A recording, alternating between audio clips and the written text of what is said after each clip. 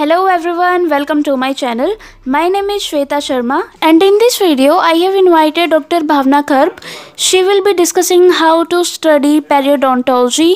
Although periodontology is a huge subject and a very vast syllabus, but she have discussed what are the book which you have to study and how to study, how you will make notes and what are the most important questions from your final exams aspect. So before starting the video, if you are new to the channel, don't forget to subscribe the channel and press the bell icon so that you can get notification of every video. Hi guys welcome to doctor Shweta's channel myself doctor Bhavna Kharb आज हम बात करेंगे final year के बारे में final year के subjects के बारे में। जैसा आप सबको पता है बीडीएस के फाइनल ईयर में हमारे आठ सब्जेक्ट्स होते हैं। तो हम इन आठों सब्जेक्ट्स में एक एक करके बात करते हैं। आज हम बात करेंगे पेरीडोंटोलॉजी के बारे में। Means perio periphery don't means teeth, logy means study. तो हम टूथ के अराउंड में जो जो स्ट्रक्चर्स हैं, उनके बारे में हम पेरीडोंटोलॉजी में पढ़ते हैं। Perio is the subject the easiest subject अब हमें क्वेश्चन आता है कि हम कहाँ से पढ़ें, कौन सी बुक रेफ़र करें। तो हमें क्या करना है? स्टैंडर्ड बुक से पढ़ना है। जब भी पढ़ना है, हमें स्टैंडर्ड बुक से पढ़ना है, क्योंकि हमें प्रॉपर अप्रोप्रिएट नॉलेज चाहिए। So Carranza is the book the bible of periodontology अब बहुत सारे स्टूडेंट सोचेंगे या इसको देखेंगे तो सोचेंगे कि इतनी मोटी बुक और सब कुछ इसमें से पढ़ना है। जी हाँ इसी से पढ़ना है क्योंकि हमें लॉन्ग टर्म ग्रास्प करना है। हमारी स्टडीज़ के दो दो बेसिक प्रिंसिपल होते हैं। फ़र्स्ट अंडरस्टैंड सेकेंड लर्निंग हमें क्राइमिंग नहीं करनी क्योंकि वी आर डॉक्टर्स तो हमें लाइफ लॉन्ग इन चीज़ों को याद रखना है। केरेंजा में दो पार्ट्स में इन्होंने कंटेंट को डिवाइड किया है। पहला biological basis of the periodontology and second is clinical periodontology चलो देखते हैं इसमें हम क्या क्या पढ़ेंगे। टूथ के अराउंड हमारे कौन कौन से स्ट्रक्चर्स हैं सारे इसी में कवर करेंगे। Like cementum alveolar bone periodontium and पीडियल so so, अब हमें किस तरीके से नोट्स बनाने हैं पहले हम ये देख लेते हैं। जैसे मैंने अपने टाइम पे किया था तो हम मैं क्या करती थी कि हम पहले पूरे चैप्टर को देख लेते थे कि इसके अंदर कितनी इमेजेस हैं।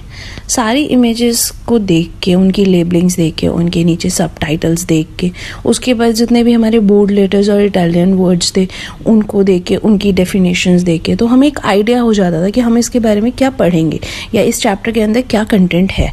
सो so, अब हम टॉपिक वाइज पढ़ सकते हैं इनको। लाइक हमने जनजायवा लिया।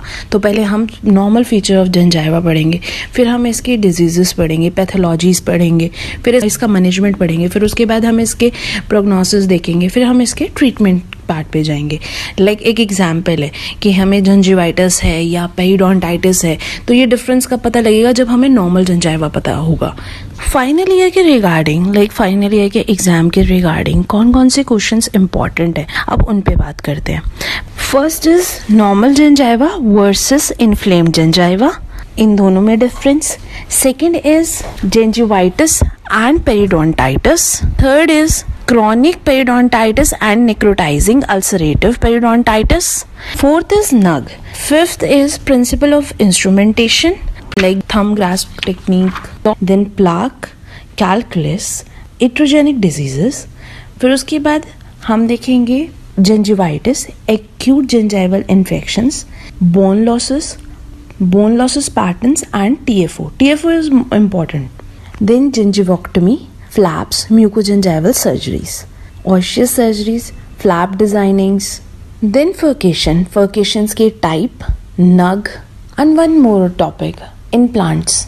implants हम इसमें भी पढ़ते हैं पेरियो में पढ़ते हैं ओरल सर्जरीज में पढ़ते हैं प्रोस्टोडोंटिक्स में पढ़ते हैं बट इसमें इंपॉर्टेंट इसलिए हो जाता है क्योंकि हम इसमें बोन बोन ग्राफ्टिंग के बारे में पढ़ते हैं और इस साल हम एक क्वेश्चन और एक्सपेक्ट कर रहे हैं regarding COVID because we are in pandemic तो एक क्वेश्चन इसका भी बनता है। लाइक like, जब हम अल्ट्रासोनिक स्केलिंग करते हैं तो हमारे जो वाटर है जो हमारे स्केलर से निकल रहा है तो उसमें हम इन्वायरमेंट में इन्फेक्शन प्रोड्यूस करते हैं। तो उसको हम कैसे क्योर कर सकते हैं? क्या क्या प्रिकॉशंस ले सकते हैं? इसके रिगार्डिंग हम एक क्वेश्चन एक्सपेक्ट कर रहे हैं।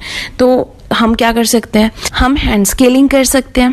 प्रॉपर प्रिकॉशंस ले सकते हैं अपने पीपी किट्स पहन के, ठीक है? उसके बाद अगर इतना ज़्यादा इम्पोर्टेंट नहीं है तो हम थोड़ा डिले कर सकते हैं राइट right? तो इस तरीके से हम इस बार एक क्वेश्चन एक्सपेक्ट कर रहे हैं।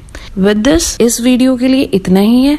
आपको कोई भी क्वेश्चन हो क्योरी हो do comment and please like subscribe the channel and bell icon को प्लीज़ प्रेस करें। Thank you. Jai Hind. Be happy. Happy studies and stay safe.